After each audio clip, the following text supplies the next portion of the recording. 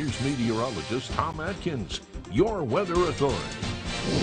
Good to be back with you here at 6. Nice tight shot, Bicentennial Tower. You can kind of see the misty drizzle around the area as you got pretty good visibility there to uh, Presque Isle and our Kerrs Tire Corner cam. So this rain is not heavy, but every bit of it is valued because of uh, what's been going on in about, oh, the past month and a half as far as lack of rainfall is concerned. So light rain, drizzle, showers, whatever you want to call it, pressing through Erie and Crawford and heading on into Warren.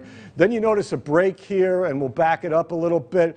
Another area here, which is weakening with sunset coming, had some uh, thunder and lightning south and southwest of uh, Cleveland there. And as you back it up a little bit further, you can kind of see the flavor of the forecast. You get areas of showers, you get breaks, you have more areas of showers. But there, if you add it all up, there's plenty of rain-free weather as we go through the week. So we'll take what we can get. And Erie almost made it to 60, but the lake breeze held it at 59 today. After a, a pretty typically normal start for a low in Erie at this time of year of 36 degrees. And you can see one one hundredth of an inch of rain uh, in the last hour.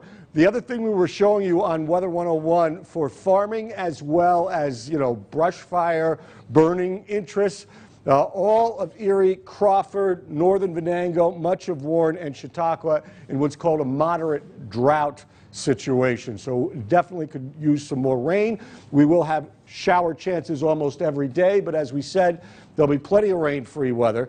Uh, temperatures will be mainly above normal again, 60s with some 70s as we go through a very spring-like week. So a little bit of lake breeze, Doc Tom Miller, Niagara Pier at 47, Bill and Corey down to 55. As we go into Crawford County, uh, Mr. Anderson over in Richmond Township, 56. Rain cooled air coming this way towards Titusville and heading this way towards Kathy and Youngsville at 61. Bob and Kitty in Cooperstown at 63. So the thing to be reminded of here as far as it not raining every day all the time, low dew points and low relative humidities. We sneak out some storms or showers along this warm front in the next couple of days, but once we get on this side of it, it gets warmer. So let me show you how that happens. And you can see the blotches of green here they're around, but much of the time they're not over top of us. So this warm front slowly but surely spits out some precipitation as it moves towards the area. And as you see it redevelop, you can see the red streamers here. So eventually we'll get behind it, we'll get some warmer temperatures, and then later we'll get some more showers. Let's uh, show you the forecast. Jet pinpoint for Erie and the Lakeshore tonight.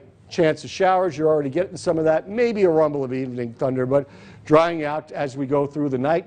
Uh, 45 for a low in Erie. Similar southern Erie, Crawford, Mercer, and Venango. You've got some showers right now.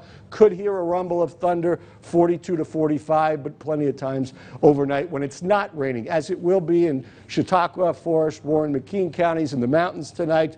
Showers possible at times, some late night fog, and 39 to or 36 to 39. A lot of sun to start, maybe some showers later. Plenty of dry time tomorrow, mid to upper 60s. Another round of showers tomorrow night, very mild, 47 to 50. And then you got a chance in the afternoon of Thursday, but a lot of rain-free weather. And look at that high, 75 degrees. Best day of the weekend looks like Saturday, maybe a little bit cooler on Sunday. But as we said, off and on showers most of the time, turning out dry over the next seven days.